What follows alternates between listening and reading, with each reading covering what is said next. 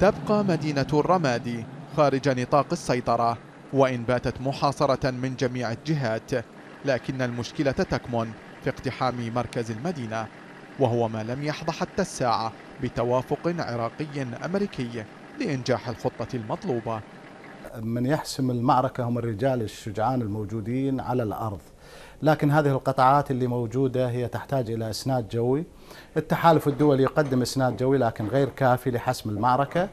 آه، طلبنا من التحالف الدولي أن تزداد عدد الضربات الجوية وأن يكون دورهم أكبر لتنفيذ وأن يكون على اتصال مستمر مع القادة الميدانيين الذين يقودون المعارك. معركة الأنبار تمشي آه، ضمن خطة مرسومة آه، من قبل القيادات العسكرية.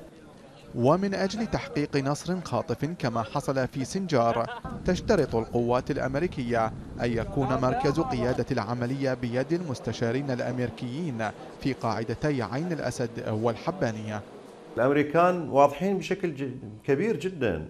هم يضغطوا الآن باتجاه تشريع قانون الحرس الوطني الذي سوف يصبح مظلة للسكان المحليين الذي يجب أن يقاتلوا داعش ويمسكوا الأرض.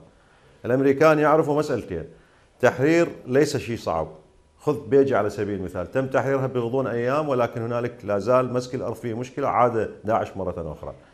مسك الأرض لا يمكن من خلال الحشد وأصناف أخرى متهمة اتهامات معروفة وبالتالي تؤجج العنف الطائفي وتسهل لداعش البقاء والشرعية. ويسعى الجانب الأمريكي إلى إشراك العرب السنة في تحرير مناطقهم في ظل عدم وجود قوات برية دولية على الأرض واقتصار المهمة على توفير الغطاء الجوي. معادلة القضاء على تنظيم داعش في العراق عموما والأنبار خصوصا باتت تحكمها التوافقات الدولية والمحلية وهو ما قد يصعب تحقيقه في المرحلة الراهنة في ظل ضغوط كبيرة يتعرض لها رئيس الوزراء حيدر العبادي من قبل شركائه داخل ائتلافه الحاكم تقضي بعدم الذهاب بعيدا في الرغبة الأمريكية باستعادة المدن العراقية على حساب الدور الإيراني. حيدر الأسد سكاي نيوز عربية بغداد.